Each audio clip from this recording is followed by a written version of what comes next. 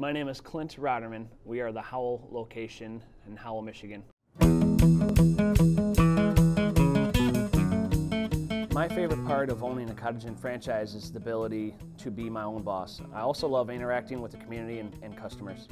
Cottage Inn has allowed me to reach my professional and personal goals um, of owning my own business. It has given me the opportunity to challenge myself professionally as I continue to grow as a franchise owner. The support you receive from corporate has exceeded my expectations.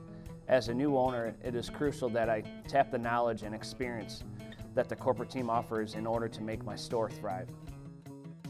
Cottage Inn takes pride in using quality ingredients and believes in keeping up with the industry trends. For example, utilizing a research and, and design team to re-energize the desserts and we carry and using data and feedback from the field to make decisions before they hit the menu. Hi, I'm Robin Herms. I'm from the Howell, Michigan Cottage Inn location.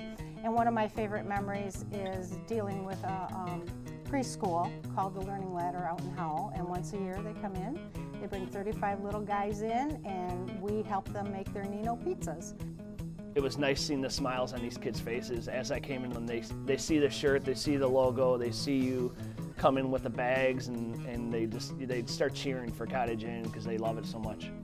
I think my most favorite part is two things. I get to work with my son-in-law, which is great, and the other thing is, is I um, can witness his business growing and doing great. And that's my most favorite, favorite part of it.